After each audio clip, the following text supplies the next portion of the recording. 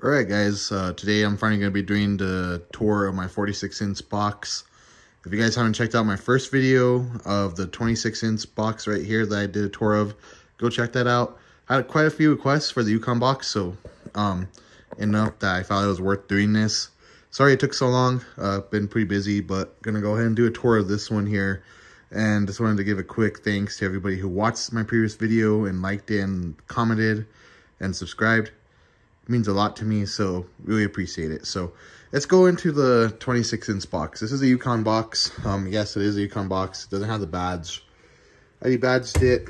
Thought it looked a little bit cleaner. This work surface is really, really nice. And it's held up beautifully. Like I had this box for almost a year now. And I have abused it. And it looks brand new. I mean, you can't even really tell that I've really used it except for except for a few minor scratches and dings and that's to be expected. Uh, let's go into the first drawer here. I mainly just keep my power tools in here. So this is my power, most of my power tools, not all of them, but a lot of them. And this is where I keep them. So they're readily accessible and it's convenient to have them here on this top drawer. Um, got a bunch of drill bits and drive, uh, you know, just a bunch of Milwaukee drill bits and stuff. Got my drill impact and my Milwaukee M12 screwdriver. This is a really great tool. Highly recommend it for those situations where you don't always need a whole lot of torque, especially if you're doing like DAS work and stuff like that. Uh, you're not going to need the power and the torque of the of a regular drill. Uh, this is comes in really handy.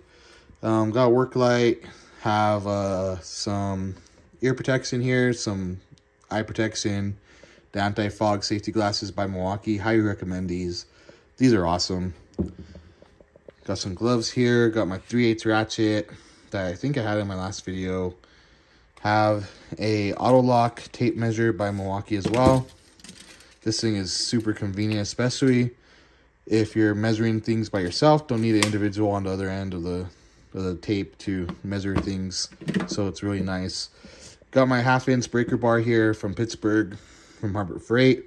This thing is awesome. Like to use uh, use it a lot to break lug nuts and stuff like that. Got a few levels here.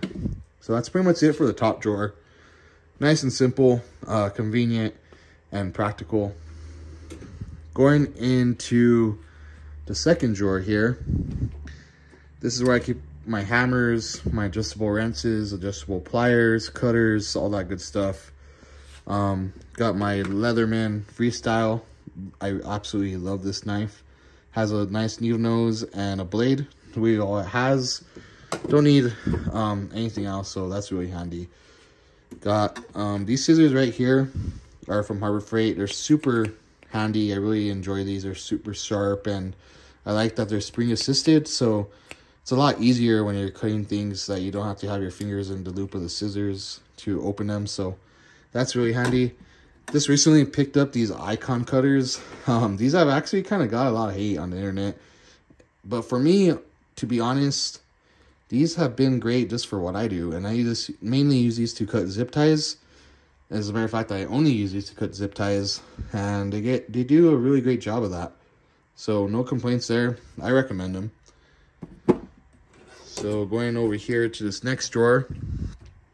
This is where I keep um, you know, a lot of wood screws, my stud finder, some old Craftsman screwdrivers here, uh, uh, micro screwdriver or, or precision screwdriver kit here, a ratcheting bit driver, some tape, all my markers and pencils and stuff like that, utility knives.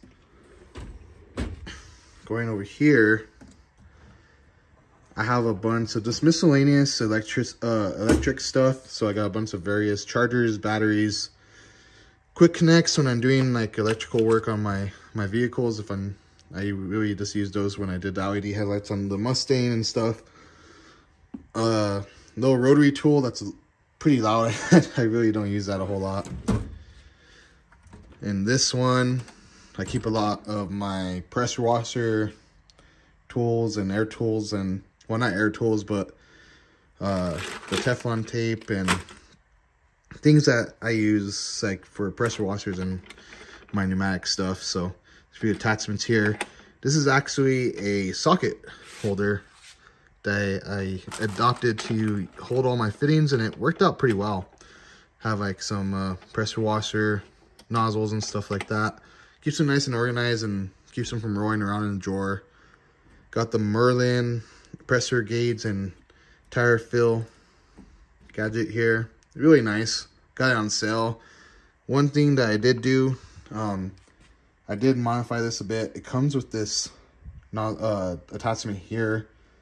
And this is really a pain in the butt when you're filling tires because you got to put pressure on the valve stem constantly in order to read the PSI and fill the tire. So really a pain when you're, you know, bent over and trying to operate this. So I just got a locking attachment here. So this locks around the valve stem.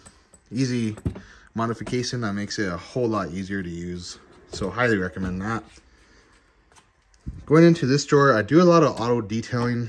I do it on the weekends as a side job and, uh, you know, this is a hobby on my own vehicles. So really enjoy it. So this is what I use for this drawer. Is this for my steamer? I have a bunch of attachments. Again, I got the socket holder here uh, to organize all my different attachments. Got some wire brushes here and uh, a few decal applicator tools, stuff like that. Over here, again, more detailing oriented stuff. All my attachments for my vacuums, my Lilly Brush, that's really handy for removing dog hair and stuff like that. My Metrovac bags. So all that vacuum attachment stuff is in this drawer.